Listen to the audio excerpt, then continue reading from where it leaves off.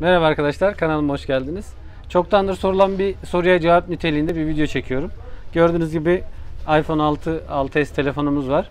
Bir de seramik camımız var, ekran koruyucumuz var. Şimdi bunu nasıl uyguladığımızı daha önce göstermiştik. Tekrar göstereceğim. Bir de aynı zamanda e, toz kaçtığında veya hava olduğunda nasıl çıkartırız onu. Aslında e, en amacımız yani en önemli amacımız bu videodaki amacımız toz kaçtığında ve hava kabarcığı yaptığında nasıl o tozu çıkartırız onu göstereceğim size. Evet önce camımızı çıkartıyoruz. Daha önce de seramik yapmıştık. Bakın bu seramikler arkadaşlar kırılmıyor. Elastik olduğu için uzun süre kullanabiliyorsunuz. Camlar gibi değil. Daha önce camların avantajlarını dezavantajlarını anlatmıştık. Bu parlak seramik gördüğünüz gibi. Evet şimdi güzelce ıslak mendilimizle ekranımızı siliyoruz. Yani şeyin kutunun içinden çıkan, paketin içinden çıkan ıslak mendil de olabilir. Bunda kalmamış. Neyse sıkıntı değil. Evet şöyle güzelce telefonumuzu siliyoruz. İşin aslında bu telefon koruyucuların, telefon kırılmaz camların takılışının yani püf noktalarından birisi bu. Güzelce temizlemek. Toz bırakmayacak şekilde temizliyoruz. Ama bizim buradaki amacımız tozu nasıl çıkartacağız onu göstermek için yapıyoruz. Daha önceki videolarımıza bakabilirsiniz. Kırılmaz cam nasıl takılır videolarımız var. Oradan bakabilirsiniz. Evet gördüğünüz gibi şöyle gayet güzel temizliyoruz. Şimdi özellikle bir toz bulmamız lazım. Onu çıkarmak için. Bir de çıkartamıyormuşuz. evet şu anda elimizde bakın. Arkadaşlar takarken de bir havada toz oluşuyor. Bakın. Hemen tozlar geliyor. Biz özellikle toz bulacağız şimdi bunun üzerine.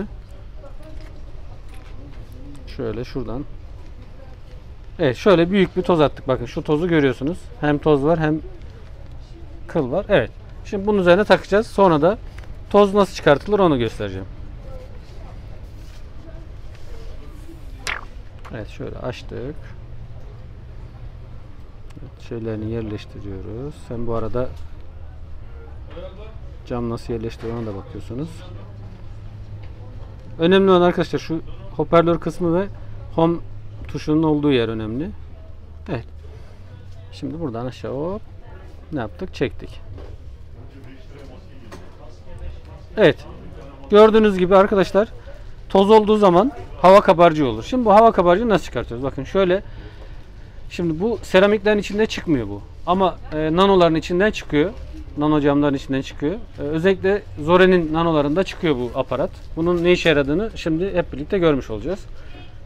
Bunun yerini tutan başka bir şeyler de bulabilirsiniz siz. Arkası önemli olan arkasının yapışkan olması. Sonra şöyle hafif tırnağımızla kaldırıyoruz arkadaşlar cama. Bakın. Şöyle kaldırdık. Alttan hop takıyoruz. Evet. Şurada kaldı. Hızlı yaptık. Heh. Gördüğünüz gibi arkadaşlar bakın. Toz kalmadı. Tozu çıkarttık. Şimdi orada küçük bir şey kaldı. Onu çıkartacağız. Yine tekrar tırnağımızla açıyoruz. Bu sefer ekran kısmına yapıştırıyoruz. Evet gördüğünüz gibi tozumuzu ne yapmış olduk oradan? Çıkarmış olduk. Evet.